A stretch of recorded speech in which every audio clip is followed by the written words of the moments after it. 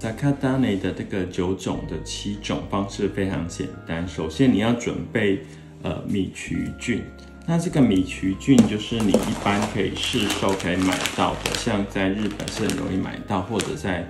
台湾的网络或是像 Amazon 的网络上都可以找到很类似的这种干燥的米曲菌。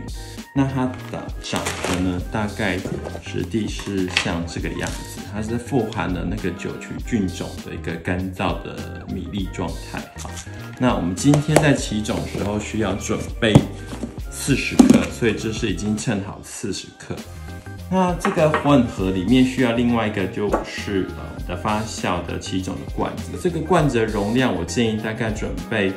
呃八百毫升到一公升左右的这个容器，然后必须是可以带盖，记得要消毒过，然后准备一般我们常温可以喝的煮沸放凉的开水，然后。再就是一百二十克的这个煮过的这个一般的白米饭。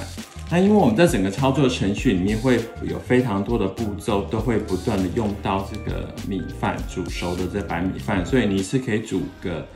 呃多一点，然后把它分装，然后一袋一袋一百二十克分成像这样一袋一袋的。那你要用的时候呢，再来使用。那煮完之后放凉密封以后就放冷冻。然后使用的前一天或前几个小时拿出来放在常温，让它在温呃冰凉的常温状态就可以使用。好，所以我们第一个就是先把这个四十克的米曲菌加进来，再来就是一百二十克的这个放凉的白米饭。那这个一百二十克就是以四十克为基准，所以它的三倍的重量。常温的冷开水大概是四百八十克，也就是呃四十克米曲菌的米粒的一呃十二倍。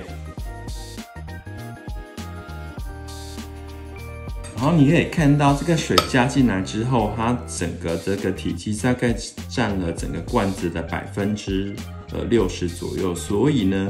呃，我们未来里面留这个空气量很重要，所以你不要准备太大的罐子，也要不要太小，因为你必须让它有一定的空气，可是那个空气量又不要太多，所以我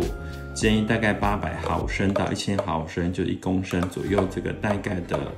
玻璃瓶罐是最适合的，不要用塑胶的，用玻璃瓶罐。确定你这个米饭没有结块的状况。混合之后，我们就直接加盖密封。之后，我们必须把这个发酵的菌种罐呢放在一个常温的状态，比较适合的温度大概是十七到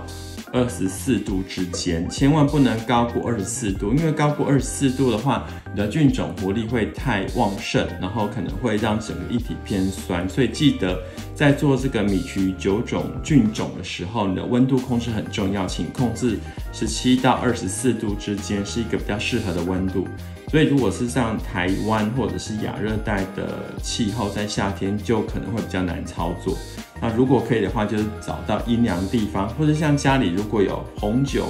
的那个冰箱的话，就是红酒柜的话，放进红酒柜里面，大概十五度也是一个非常 OK 的。这个动作。密封完以后，你可以标示一下呃起始的这个时间，然后你不用去记录高度的问题。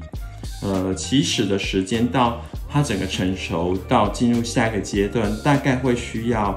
四十八到七十二小时。那我们就等它到下一个阶段已经进入呃 round two 的时候，成熟的状态，我们再来跟大家分享下一个步骤的操作。